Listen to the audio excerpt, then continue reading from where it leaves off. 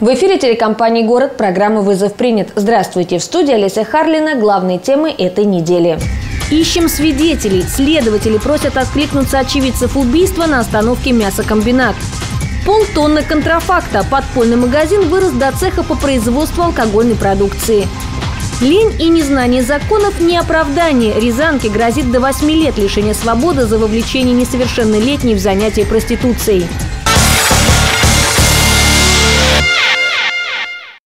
9 апреля на остановке общественного транспорта «Мясокомбинат» был застрелен мужчина. В прессе появилась информация о том, что расправился с погибшим родной брат, а катализатором трагедии стали наркотики, которые оба родственника якобы употребляли. Следователи пока ограничиваются сухими протокольными фразами. В результате предварительного расследования выяснилось, что вечером мужчины поссорились, затем подрались. Потерпевший вспомнил, что у него при себе имеется травматический пистолет и решил им воспользоваться.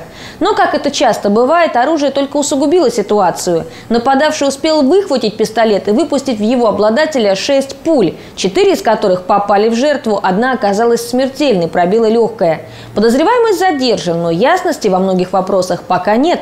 Всем Э, кому что-либо известно о данном конфликте, который произошел в вечернее время, э, это где-то примерно с половины 10 до 10 часов вечера 9 апреля 2015 года в районе дома 8 по Касимовскому шоссе. Просьба откликнуться и позвонить по телефону дежурной части отдела полиции номер 1, это 28 29 01, либо позвонить по телефону Московского межрайонного следственного отдела города Рязань 76 46 14, либо по телефону дежурной части МВД России по Рязанской области 02. Э, и также хотелось бы обратиться э, с просьбой, э, как было установлено расследованием уголовного дела, что во время конфликта недалеко от места происшествия находился автомобиль, предположительно марки ВАЗ-2105, либо ВАЗ-2107, вишневого цвета, где находилось два человека, предположительно мужчина и девушка. Э, и, возможно, они могли видеть происходящий конфликт и являться очевидцами. И в связи с этим я также прошу этих людей э, откликнуться на просьбу следственных органов и позвонить по указанному выше телефону. Мы будем следить за ходом расследования и ждать видео с места проверки. Следующая ситуация очень распространенная, а потому стоит обратить на нее особое внимание. Случай банальный. Поссорились супруги, жена уехала к маме. Обсудить развод договорились на нейтральной территории, но женщина навстречу не пришла. Супруги неожиданно встретились в детском садике, причем мама была пьяна, а папа не стал лишний раз спорить, забрал общего ребенка и поехал с ним домой. Дальше внимание. Обиженная и раздосадованная дама просит своего племянника за нее заступиться. Молодой человек, не теряя времени, едет к мужу тети, и уже вместе они атакуют дверь квартиры, за которой муж и ребенок, до тех пор, пока не появляется свекровь попросила своего сына открыть дверь, он открыл, она начала проходить. В этот момент племянник э, вот этой вот, э, супруги схватился за ручку двери. Досталось и свекрови, и ее сыну. Синяки родственники друг друга в итоге простили, а добросердечного племянника привлекли по статье «Незаконное проникновение в чужое жилище». Родственник, он получается фактически родственник э, супруги, который э, по большому счету к этой квартире отношения, так же, как и он, не имеет. Каких-либо документов, вещей его в этом помещении тоже не, могло быть. Если в квартире нет ваших вещей, которые вы намереваетесь забрать, напоминают следователи, то 10 раз подумайте, прежде чем влезать в чужие конфликты и входить туда, куда вас не приглашали. Неблагодарное это дело, семейные ссоры. Свои разберутся, а крайним останетесь вы. Наклейки, крышки, гравировки, надписи и прочие тонкости помогают отличить фальшивый алкоголь от настоящего. Но покупателя интересует только одна деталь – стоимость товара. Чем она ниже, тем выше спрос. Автостоянка на улице Первой Бутырки уже привлекала внимание полицейских своими особыми услугами. Найденный алкоголь изымали, имена нарушителей закона попадали в протокол, но никого это не заставило отказаться от стабильной прибыли. Внимание местных жителей, которые и сообщили, куда нужно, привлек местный сторож. Именно он, по словам горожан, часто торговал алкоголем сомнительного качества. Машина чья вот эта? Это чужая. Ну че? Ну, записана она просто у нас. А вот куда кто положил? Была она в этой машине и все.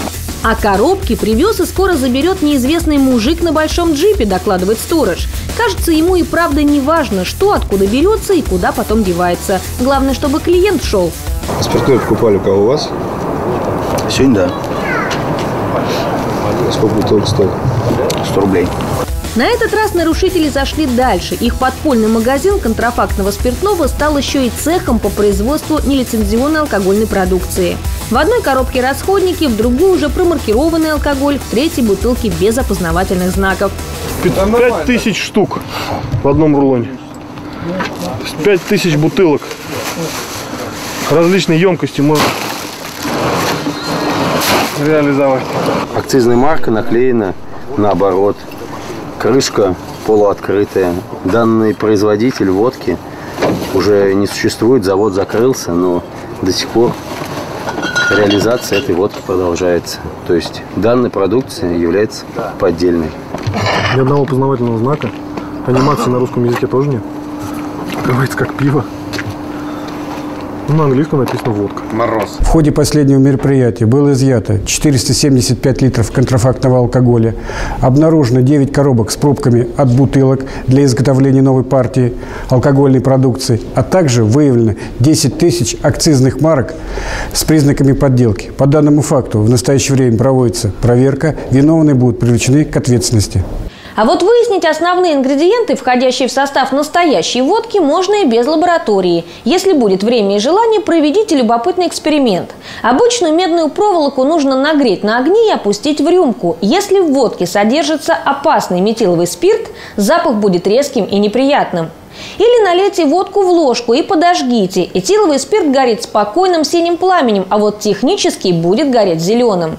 Самое главное, не ставьте эксперименты на здоровье. Даже сами работники таких подпольных цехов порой не знают, что разливают по бутылкам. Не говоря уже об условиях, в которых все это происходит. Абсолютно все знают, что провоцирует преступников на уличное ограбление. Тяжелая сумка, блестящее украшение, мелькнувший в руках кошелек и отсутствие уличного освещения становятся идеальными приманками для грабителя. Но что делать, если вернуться засветло не получается? Фонари, несмотря на криминальную статистику, лучше не светят, а привлечь хулигана может и одежда. Не ходить же теперь в лохмотьях. На днях со своей сумочкой распрощалась 25-летняя рязанка. Что характерно, в полицию обратились очевидцы, которые нисколько не смутили злодея. Как подозреваемым оказался опытным в криминальных делах. Ранее он уже был судим за хищение и пытался скрыться. Он шел на разные хитрости. Но квалификация оперативников была намного выше. А злоумышленника задержали буквально через пару часов после ограбления. А в совершении ограбления подозревается 29-летний житель Московской области. Задержанный не скрывает, на преступление пошел под градусом и совсем не ожидал, что будет пойман так быстро. Пришлось объяснять полицейским, откуда в кармане сотовый телефон жертвы. Ну и что ты, ты как, вы специально выбрал человека или случайно? Спонтанно. Тебе показалось, что ты сможешь справиться, да? Нет. Сказал, что у него есть деньги. Вот и все. И что, а что отобрал? Сумку. С момента первой судимости прошел всего год, а злоумышленник снова взялся за старое. Возбуждено уголовное дело. Один вопрос наверняка задавал себе каждый второй. Откуда у неработающих алкоголиков находятся деньги на водку? Причем, заметьте, всегда. Никакая нужда не заставляет человека проявлять фантазию так, как желание напиться. И, к сожалению, моральных принципов тут нет и в помине. Готовы красть, запугивать детей и бить пенсионеров. В полицию обратилась 78-летняя рязанка, которая сообщила, что на нее средь бела дня напал неизвестный. Я за сумку дернул, а она ее не отпускала, видать, запнулась. Ну, упала, я дернул сильно. Она упала и все, сумку не отпускала, я сережки снял. Для бабушек, переживших послевоенный голод и всю жизнь считавших, что облагораживает человека только честный труд, отдать сумочку все равно, что быть пособником преступника. Старушка боролась как могла, за что получила несколько ударов от грабителя. Тогда злодей, который почти в три раза моложе пенсионерки, снял с нее золотые сережки. Оперативники уголовного розыска, проанализировав время, место и дерзость совершения преступления, предположили, что злоумышленник решился на разбойное нападение спонтанно, без особых раздумий. А, наверное, в расчетной на сиюминутное обогащение. Первым делом полицейские начали проверять ломбарды и уже в ближайшем обнаружили улику, причем разминулись с грабителем всего на несколько минут. Золотые украшения 24-летний рязанец сдал по своему паспорту. Оказалось, что автором идеи был такой же приятель. Криминальный дуэт в сильном алкогольном опьянении задержали во дворе подозреваемого. Один придумал напасть на самого беззащитного прохожего, второй согласился пойти в ломбард. Отвечать за свои действия придется тоже вместе. Хочется напомнить жителям, никакие вещи не стоят вашего здоровья и жизни. Преступника, настроенного на легкую наживу, не смутит ни ваш возраст, ни наличие маленького ребенка рядом, ни проявленное мужество. Президент России внес на рассмотрение в Госдуму проект постановления об объявлении амнистии в связи с 70-летием Великой Победы. Неожиданный подарок могут получить те, кто осужден впервые за преступление небольшой и средней тяжести, а также преступники, имеющие определенные заслуги перед страной. Предложенная глава государства амнистия затрагивает до 60 тысяч заключенных и до 200 тысяч условно осужденных. Мошенники и торговцы наркотиками в этот список не входят, равно как и убийцы, насильники, террористы, взяточники и похитители людей. Не удастся выйти на свободу раньше и тем, кто успел вторично нарушить закон в течение 10 лет после освобождения, был злостным нарушителем в местах лишения свободы или рецидивистом. Предложение президента, вероятно, будет принято в трех чтениях до конца апреля. А между тем, многие уже сгущают краски и называют массовый выход уголовников холодным летом 2015-го. Мол, рад бы оступившийся человек начать жизнь с чистого листа, да как с безработицей и сложной экономической ситуацией выживешь. Работодатели, как известно, бывших сидельцев не жалуют. И те, поскитавшись в поисках достойного заработка, месяц-другой снова встают на кривую дорожку. Доля правды в этом есть, но с другой стороны, только за последние 13 лет в России амнистия объявлялась 10 раз.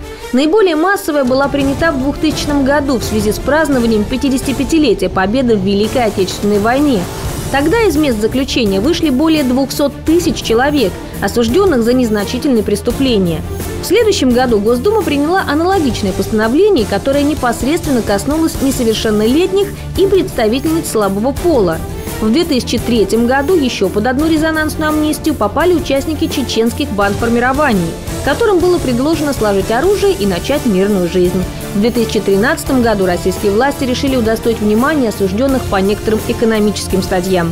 И ежегодно находятся те, кто проходит ряд юридических экспертиз. Так, в этом году под амнистию не попадают братья Навальные, главная фигурантка дела оборонсервиса Евгения Васильева, бывший руководитель ФСИН Александр Реймер, а также недавно задержанный бывший губернатор Сахалина Александр Хорошавин.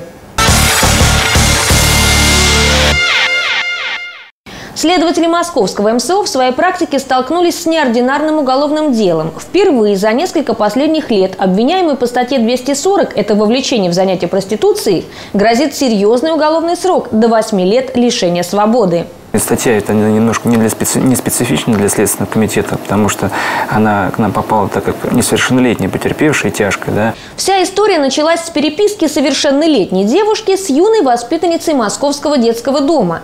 Последняя сбежала из госучреждения, нашла свою подругу по переписке и попросила приютить ее. Однако содержать свалившуюся как снег на голову гостю в планы девушки не входило, и та намекнула, что пора искать работу, чтобы вместе платить за жилплощадь. Сама гостеприимная Рязанка вот уже два с половиной года зарабатывала занятием проституцией и в красках расписала все плюсы и особенности своей профессии. Также совершеннолетняя создала несовершеннолетней э, специальную страничку на сайте Интим-услуг, э, э, разместив там сотовый телефон несовершеннолетний, указав определенные биографические данные, которые были необходимы для регистрации. С августа по сентябрь 16-летняя девушка семь раз выезжала к клиентам. Подруг задержали вдвоем в ходе очередного рейда. Доказать именно факт вовлечения в занятие проституцией, говорят следователи, было сложно. Но опытная наставница помогала своей протеже, чем могла. Даже несколько раз выезжала с ней в качестве группы поддержки. Сейчас старшая девушка задержана. Младшую отправили обратно в детский дом и записали к психологу. Но возникают резонные сомнения насчет того, что 16-летняя девушка плохо представляла, чем придется заниматься. Почему воспитанница детского дома, как многие студенты, например, не пошла раздавать флайеры? Это хоть и не престижная, но вполне достойная работа для молодежи. Надо признать, многие девушки готовы поступиться честью и моралью, прибавить себе пару лет, как сделала жертва преступления, лишь бы получить денег без особых усилий. Только бизнес этой девочки очень экстремальный и закончится новая встреча с клиентом может чем угодно. Не теряйте головы и достоинства. Это были главные криминальные темы недели. Берегите себя и до новой встречи в эфире.